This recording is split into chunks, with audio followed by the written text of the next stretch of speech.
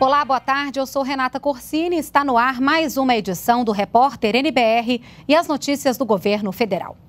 O ministro da Fazenda, Henrique Meirelles, disse hoje que a recessão econômica pode ser a pior da história do Brasil. Foi durante encontro com empresários no Palácio do Planalto. Entre as propostas do governo para fazer a economia voltar a crescer está a limitação das despesas. Não será surpresa para muitos analistas uh, se a contração, a recessão desse ano for a mais intensa, a maior, desde que o, PIB começou a ser medido no início do século XX.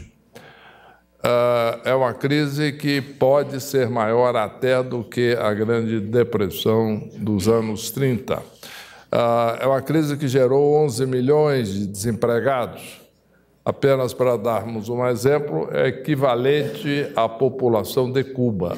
Qual é a proposta? O que, que esse governo já tem anunciado? O que, que o presidente Michel Temer anunciou num primeiro momento uh, para a população, para a comunidade e eh, para o Congresso Nacional? Um conjunto de medidas. A primeira delas, uma medida da maior importância, que é a medida que estabelece um critério de limitação ao aumento das despesas públicas, não para emergencialmente resolver o problema do próximo semestre, mas para os próximos anos, para que este crescimento real das despesas, que esteve 6% acima da inflação durante as últimas décadas, que ele e foi de 50% em sete anos, que ele passe a ser zero. Isso já gera uma confiança na sustentabilidade do Estado, gera uma confiança na responsabilidade na gerência das contas públicas. E muito importante, isto já gera confiança de que haverá cada vez mais recursos disponíveis para a sociedade brasileira, para as empresas, para os consumidores se financiarem e investirem. Porque quanto mais o governo precisa se financiar, porque a dívida sobe de uma forma desproporcional, menos recursos tem disponível para o setor privado. E o presidente em exercício, Michel Temer, disse que o governo vai enviar ao Congresso na semana que vem um projeto de limitação dos gastos públicos.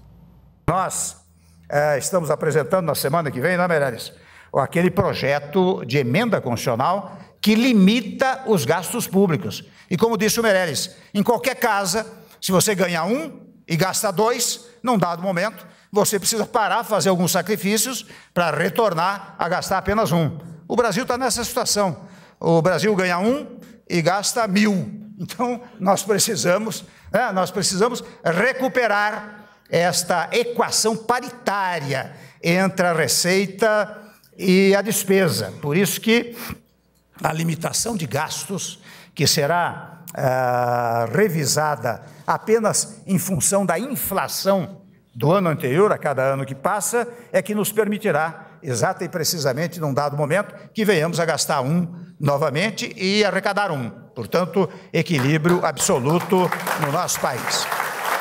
Eu espero que os senhores saiam daqui, cada qual dos senhores, propagando, não as minhas palavras, mas as palavras eh, especiais que os nossos ministros disseram. Porque esta propagação nos meios em que os senhores estiverem, não é? É, ajudará o país, ajudará a nós todos a sairmos desse embaraço que nós estamos. Eu estou num governo ainda, como lembrou alguém, um governo transitório, mas eu não ajo como se estivesse num governo transitório, porque se eu for esperar que num dado momento haja uma solução, eu paraliso o país. Até vou fazer uma brincadeira, se um dia eu não estiver mais, mas o governo mantiver esta equipe econômica e esta equipe governamental, o Brasil está salvo. Não tem a menor dúvida disso. Né?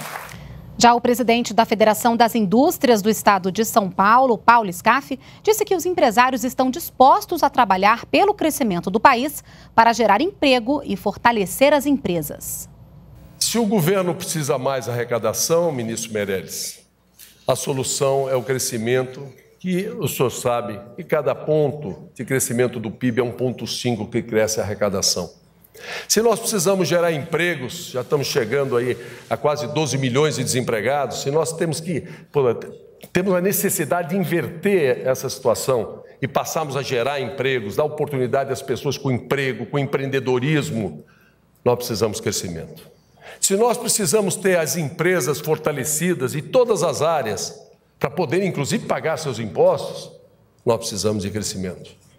Se nós queremos ter alto, bom astral, estado de espírito elevado, se nós precisamos ter, temos que ter no, no país uma boa vibração, nós precisamos de crescimento. O crescimento é o estímulo, é o estímulo para todos, é a oportunidade para as pessoas, é o que faz bem para o povo, é o que faz bem para todo mundo. E para isso, há uma necessidade de retomada da confiança. Nós hoje viemos aqui, presidente, não é para protestar nada, não, porque não está faltando protesto, está cheio de protestos já. Nós viemos aqui, não foi para reivindicar nada, não estamos aqui para pedir, olha, está aqui uma lista de reivindicações, não. Nós viemos aqui para lhe dizer o seguinte: nós todos estamos com a disposição de trabalharmos noite e dia, sábados e domingos e feriados, para a retomada do crescimento do Brasil. É isso que nós viemos aqui. E daqui a pouco, ministros do Brasil e do Paraguai vão assinar acordos de cooperação técnica.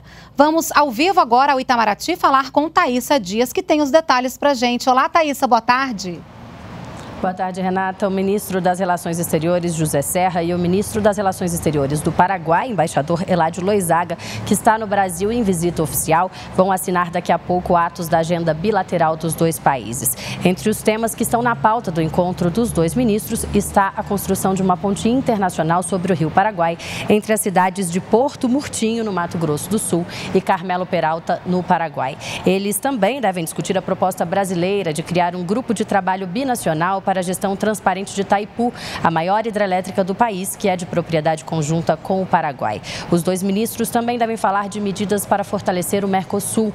Brasil e Paraguai são importantes parceiros comerciais. No ano passado, o intercâmbio comercial entre os dois países foi de 3 bilhões e 300 milhões de dólares. É com você, Renata.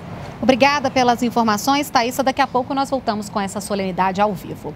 E o contribuinte já pode consultar na internet o primeiro, o primeiro lote de restituições do imposto de renda de 2016 e também de lotes residuais de anos anteriores. O valor será acreditado na conta bancária de 1 milhão e 600 mil contribuintes no dia 15 de junho.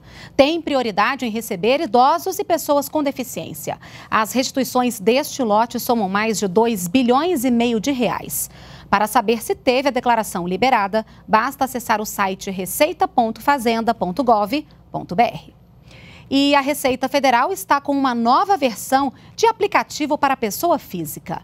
A partir de agora, o contribuinte pode emitir o comprovante de inscrição do CPF pelo aplicativo. Cerca de 155 milhões de pessoas serão beneficiadas com o um novo serviço, que pode ser baixado nos sistemas iOS e Android. E lembrando que a consulta à restituição do imposto de renda também pode ser feita por este aplicativo. E nós ficamos por aqui, voltamos a qualquer momento com outras informações ou às quatro da tarde na próxima edição do Repórter NBR.